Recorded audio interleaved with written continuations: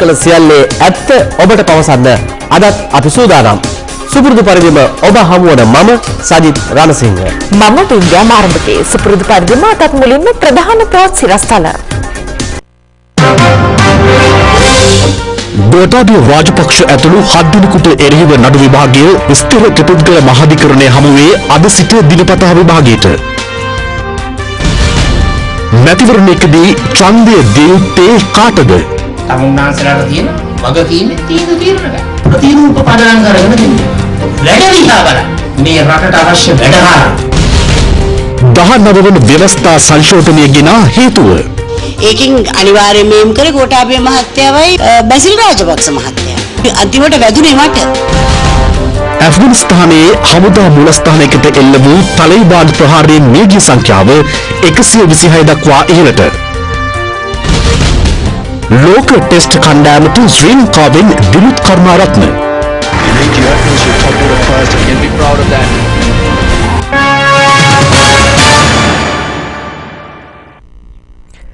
හිටපු ආරක්ෂක ලේකම් ගෝඨාභය රාජපක්ෂ මහතා ඇතුළු විත්තිකරුවන් හත් දෙනෙකුට එරෙහිව ගොනු කර ඇති නඩුව අද සිට කොළඹ ස්ථිර ත්‍රිපුත්කල මහාධිකරණය හමුවේ දිනපතා විභාගයට ගැනෙනවා. එම නඩුවට පෙනී සිටීම සඳහා හිටපු ආරක්ෂක ලේකම්වරයා ඇතුළු විත්තිකරුවන් අද උදෑසන ස්ථිර ත්‍රිපුත්කල මහාධිකරණයට පැමිණියා. පසුගිය රජ සමයේදී මැදමුලන වීරකැටිය ප්‍රදේශයේ ඩී.ඒ. රාජපක්ෂ කෞතුකාගාරය ඉදිකිරීමේදී රජයේ මුදල් රුපියල් මිලියන 34කට ආසන්න ප්‍රමාණයක් සාවත්‍ය පරිහරණය සම්බන්ධයෙන් චෝදනා එල්ල කරමින් නීතිපතිවරයා ප්‍රදුදේපල පනත යටතේ මෙම නඩුව ගොනු කර තිබෙනවා. එම නඩුව අද යළිත් කැඳවුණේ කොළඹ ස්ථිර ත්‍රිපුද්ගල මහාධිකරණය හමුවේ.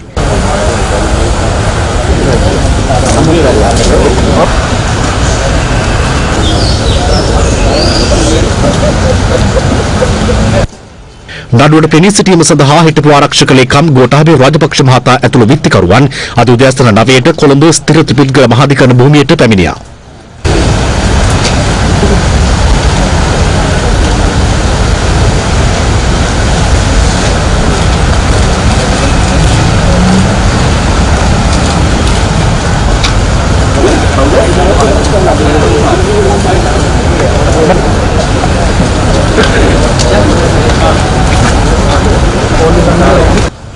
මෙම නඩුව අද සිට දිනපතා විභාගයට ගැනෙනවා.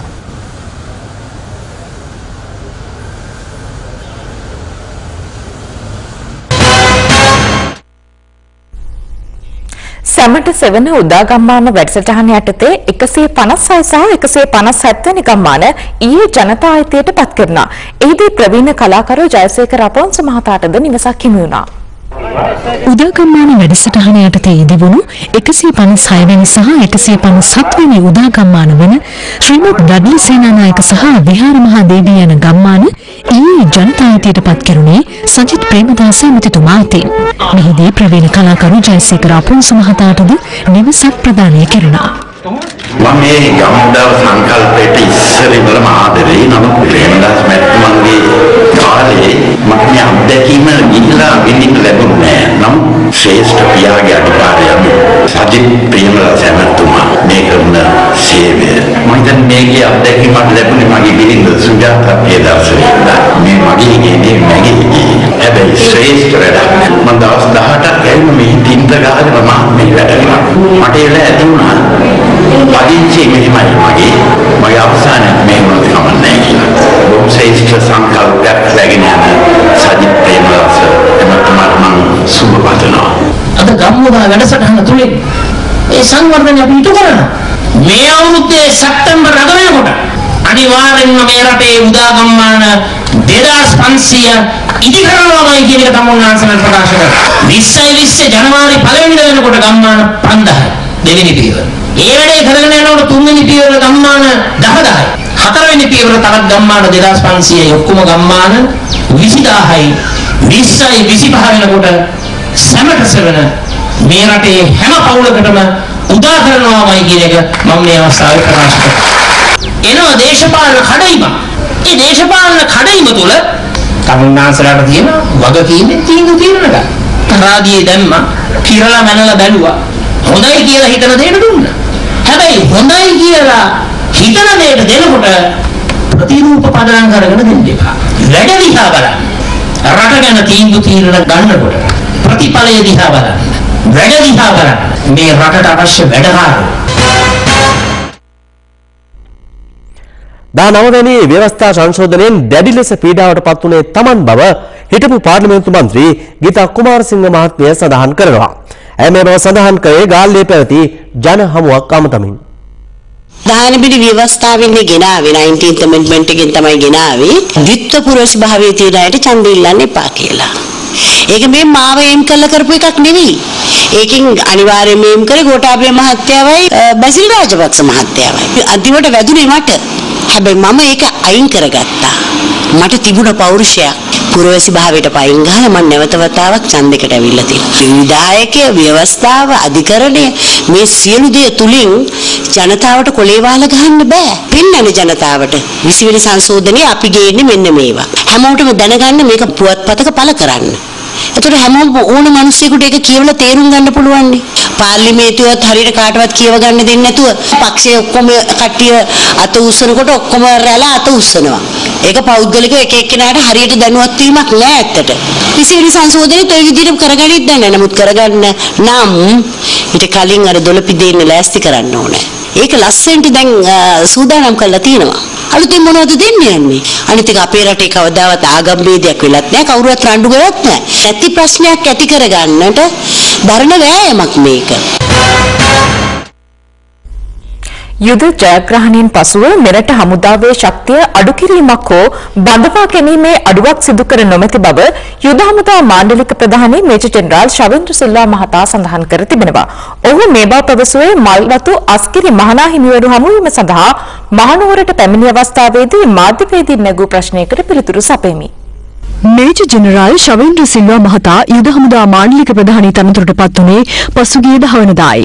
නව තනතුරේ වැඩභාර ගැනීමෙන් පසු සාම්ප්‍රදායනුකූලව මල්වතු අස්කිරි මහනා හිමිවරුන්ගේ ආශිර්වාද ලබා ගැනීම සඳහා ඔහු ඊයේ පස්වරුවේ මහනුවරට පැමිණියා.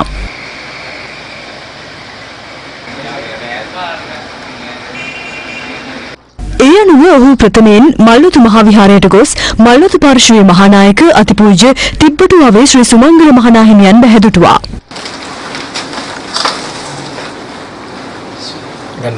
අනතුරුව මල්වතු අනුනාහිමියන්ද බැහැදකීමෙන් පසු ශවින්ද්‍ර සිල්වා මහතා අස්කරි මහාවිහාරයට පැමිණ අස්කරි පාර්ශවයේ මහානායක අතිපූජ්‍ය වරකාගොඩ ශ්‍රී ඥානරතන නාහිමියන් මුණ ගැසුණා.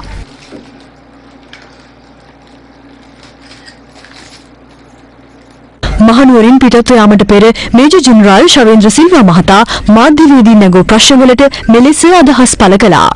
යුද්ධය අවසානද යුද හමුදාවේ යම්කිසි ශක්තිය අඩු කිරීමක් හෝ මේ පුහුණු අඩු කිරීමක් බඳවා ගැනීම අඩු කිරීමක් පිළිබඳව යුද්ධ දෙන්න තියෙනවා.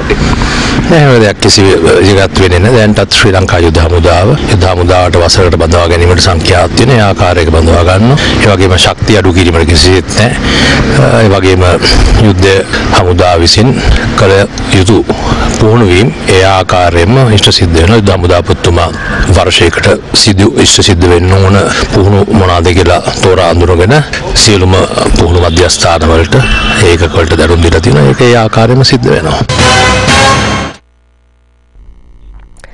සේනා දළමුවා බිත්තර සහ සලඹයන් සහිතව බඩිරුව ගස් ප්‍රවාහනය කරමින් සිටි ටිපර් රථයක් කන්තලේ පලාපත්‍ර ප්‍රදේශයේදී නාවුන පොලිස් භාරයට ගෙන තිබෙනවා.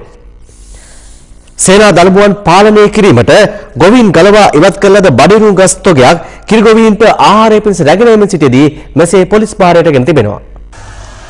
සේනා දළඹුවන්ගේ බලපෑම නිසා ගොවින් විසින් තම වගාබිම් වලින් ගලවා ඉවත් කරනු ලැබූ බඩිරිඟු ගස් කිරිකවීන් සඳහා ප්‍රවාහනය කරමින් තිබූ ටිපු රථයක් නාවුල පොලිසිය භාරයට ගෙන තිබෙනවා. නාවුල පොලිසිය පවසන්නේ පුනොන්නනුව ඇලහැර බකමුණ ගිරිතලයේ දියබිතුම ආදී ප්‍රදේශවල ඉවත් කරන බඩිරිඟු ගස් මෙලෙස ප්‍රවාහනය කරමින් සිටි බවයි. පොලිස් භාරයට ගත් මෙම බඩිරිඟු ගස් තුගේ පරීක්ෂා කිරීමේ කටයුතු සඳහා නාවුල කෘෂිකර්ම නිලධාරීන්ට බාර දීමට කටයුතු කර තිබෙන බවයි වාර්තා වන්නේ.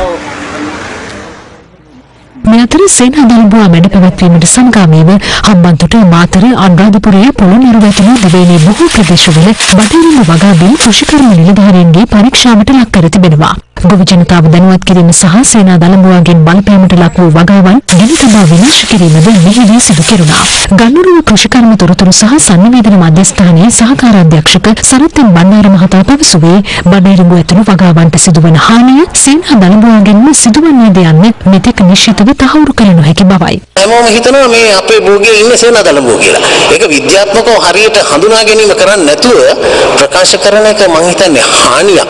වී වලට මේ හානි කරන සේනා දළඹුව විශේෂ වෙන එකක්. මෙයා නෙමෙයි. මේ අතර සේනා දළඹු මර්ධනය සම්බන්ධයෙන් රජයෙන් මේ වන විට ගෙන ඇති තීන්දුව සම්බන්ධයෙන් අපේ ගරු අමාත්‍ය පියරිසන් මහතාගෙන් විමසා සිටියා. ගරු අග්‍රාමාත්‍යතුමාගේ ප්‍රධානත්වයෙන් ඊයේ හවස පැවැත්වූ රැස්වීමේදී විශේෂම තීන්දුව කෙරුවා. ඒ තීන්දුව අනුව එකක් තමයි අද දවසේ කැබිනට් අනුමැතිය සඳහා ඉදිරිපත් කරලා තියෙනවා. කුෂිකර්ම අමාත්‍යාංශය මගින් කරන කැබිනට් පත්‍රිකාවේදී වෙනා දනදවාගෙන් පූර්ණ හානි ඒ වගේම අර්ධ හානි වෙලා තියෙන ගොවීන් ඉන්නවා නම් ඒ අයට අවශ්‍ය වන්දි ගෙවීම සඳහා අවශ්‍ය කටයුතු කරන්නත් ඒ වගේම සියලුම පාර්ලිමේන්තු මන්ත්‍රීවරුන් දැනුවත් කිරීමේ වැඩසටහනක් ක්‍රියාත්මක වෙනවා හෙට දවසේ සතාගේ ආක්‍රමණය වර්ධනය මඩපවත්වන ආකාරය සම්බන්ධයෙන් ඒ අවශ්‍ය විදේශීය සහාය ලබා ගැනීමට මේ කටයුත්ත කරන්න ගරු අග්‍රාමාත්‍යතුමා ඇතුළු කැබිනට් මණ්ඩලයේ නැති ඇමතිවරුන් මේ සහයෝගයෙන් ඒ කටයුත්ත ක්‍රියාත්මක කරන්නත් දැනට අවශ්‍ය උපදෙස් අරන් තියෙනවා.